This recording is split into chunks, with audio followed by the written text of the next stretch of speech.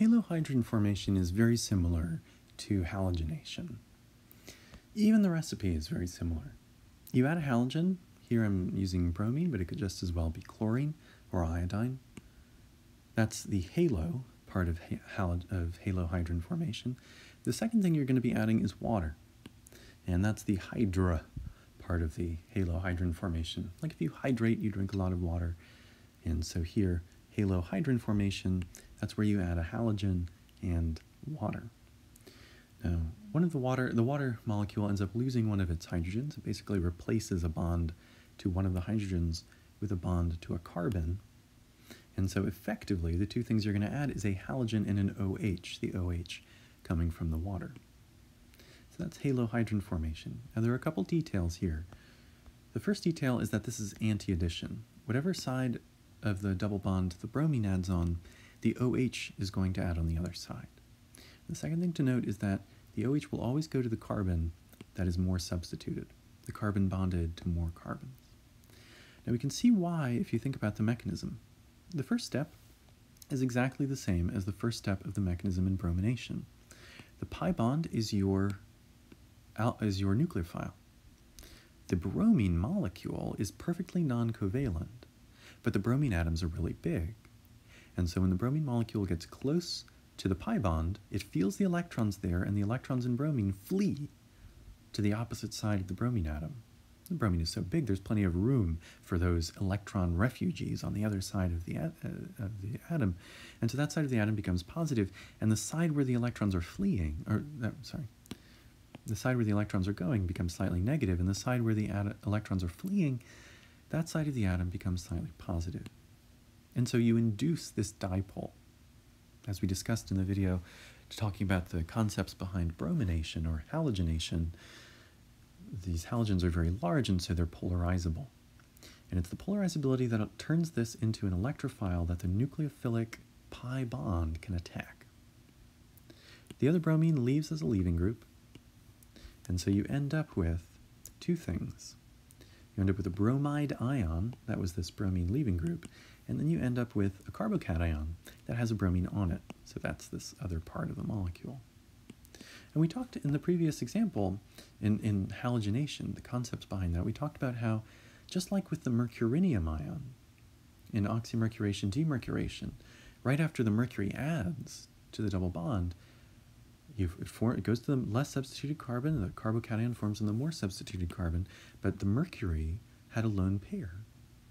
Well, with bromination or halogenation, the halogen has a lone pair too, and it donates the electrons in that lone pair to stabilize the carbocation. And that forms this sort of triangular bromonium ion. Now, so far, this mechanism is 100% exactly the same as halogenation or bromination. So if I went, and went through this and it, and it seemed really fast, I encourage you to watch the video on the concepts behind halogenation and we'll go through all those steps and draw this out one molecule at a time. Now, in the case of halogenation, the second halogen, the bromide, is what attacked as a nucleophile in this next step. And that is where bromination or halogenation is different from halohydrin formation. Because in the case of halohydrin formation, the nucleophile attack that attacks is not the bromine, or the bromide ion. The nucleophile that attacks is water. There's so much, so many water molecules here. A water is able to, the slightly negative oxygen in the water is, is able to, right, the oxygen is very electronegative, so it steals electrons from the hydrogens, which becomes slightly positive. The slightly negative oxygen is able to act as a nucleophile and attack the slightly positive carbon of the bromonium ion. So it takes the place of the bromide in the other mechanism. Now that bursts that ring open, and then you end up getting you end up getting a bromine and an H2O attached to your molecule. Now that oxygen has three bonds, so it has a full positive charge. So it just needs to lose its hydrogen to another water molecule. And we've seen this before. We saw this in acid catalyzed hydration and the mechanism for that. How you can do a proton transfer and stabilize a positive charge by removing an H+. plus. So a base can come by, steal an H+, plus, the electrons snap back onto the oxygen, and in the grand sweep of things, what you end up with is a bromine and an OH attached to opposite sides of the double bond. Okay, so let's see where those two little details that we want to remember about this come from. First, the OH and the bromine add anti. This is the same, it's for the same reason that the bromines add anti. The bromonium ion, bromine is really big and fat and polarizable, which means that this water molecule can't attack from that same direction. This is unable to reach the bromine, or that positive charge, on the side where the bromine is. It just gets pushed away.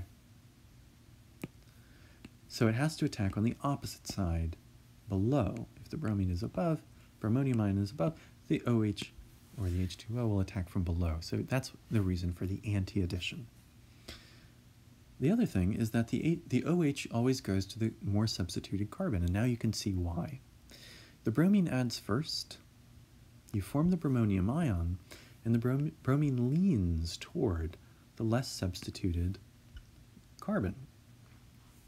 Because each of these bonds are like little springs, the bromine is constantly bouncing around. As it moves around, the more substituted carbon is able to handle slight positive charges better than the less substituted carbon. And so, on the whole, the bromine is bouncing around closer to the less substituted carbon to help to stabilize it. That means that a slight positive charge forms on the more substituted carbon, which turns that into, into the electrophile that water attacks. So, you could see how the two details in halohydrin formation arise. It's anti-addition because after the bromine attacks, it's really bulky in the bromonium ion, so the water has to attack from the opposite side. And the water attacks the more substituted carbon because that's the one that has the slight positive charge. That's the one that can handle the slight positive charge better. So hopefully this video helped a little bit with understanding the reason behind these little notes that we're going to, going to apply in synthesis exercises in the next video.